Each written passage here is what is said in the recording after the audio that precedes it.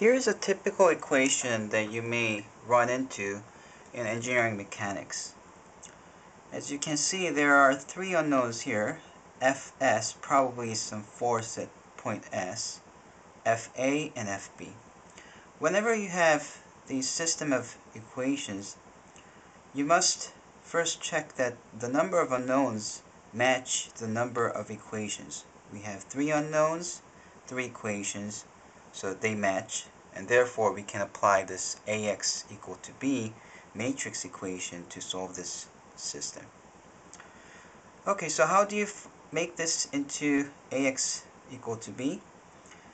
First what you have to do is identify all these terms that do not have the, the, the unknown variables. So here's 5, it doesn't have FA, FS, or FB, so that should be moved to the other side and there's another one, negative 3.536. That doesn't have any variables, so that must move to the other side. Now, you let's first change that into 0.866 fs equal to, by adding number 5 each side, you get equal to 5. This one, you don't have anything to move, so we're just going to copy it down here. In the third line, that's the one that we have to move, so just copy it. And when you move, the sign changes to plus. And that's good now. Okay, once you make it into this format, you're going to use ax equal to b, where this a, matrix A, is the matrix of coefficients. When you see this first equation, you should really think of this as 0 times FA plus 0 times f of b. And write down 0, 0, 0 0.866. That's because this is the coefficient for FA, this is the coefficient for FB, this is the coefficient for FS. Now if you were to switch these two around, let's say fs comes first, then these coefficient also has to switch around so they correspond. Here this is 1 times fa, so coefficient is 1. That's negative 1 times fb, so coefficient is negative 1. This is negative 0.5 fs, that's what you have. The third line is 0.7071, 2.121, and then 0. And on the right side you have the numbers 5, 0, 3.536.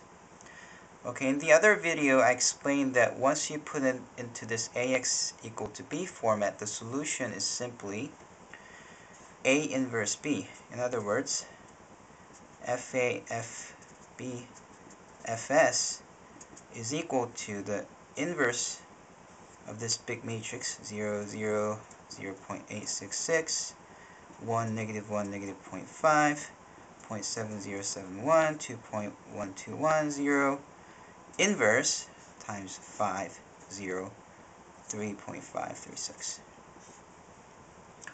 And once you're done, you can use a calculator to find calculate this to find the solution.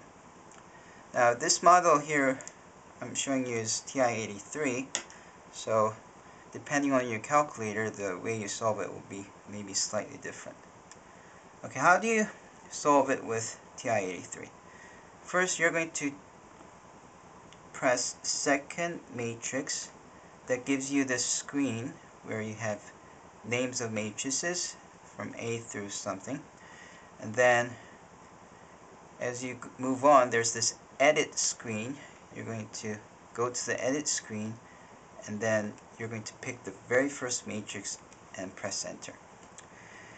Now A has three rows and three columns so it's a 3 by 3 matrix so I'm going to put 3 by 3 and then that gives you adequate room for putting these numbers in. The numbers are 0, 0, 0.866 so 0, 0, 0.866 and on the next line it's 1 negative 1 oops. 1, enter, negative 1, enter, negative 0.5, enter, and the third line is 0.7071, enter, 2.121, enter, and that's it. So we have our very first matrix, matrix A ready. Let's go back to the screen by pressing second matrix. Again, go to the edit. Now we're going to plug in the punch in the numbers for the matrix B. So go to B, enter, that's three rows and one column. So you put 3 by 1.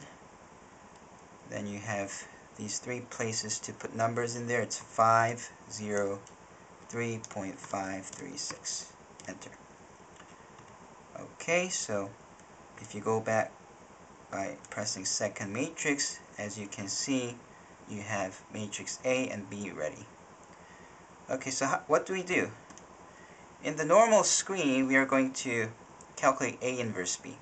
Again, go to second matrix and press enter at the names. Pressing enter at the names will give you matrix A.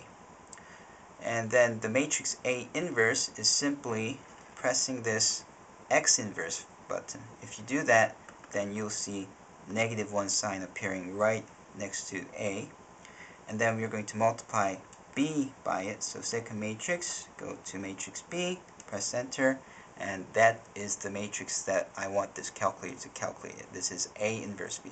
So let's hit enter, and you see these three numbers. These are the values of FA, FB, FS. So let's write down the answer. FA equals to 3.415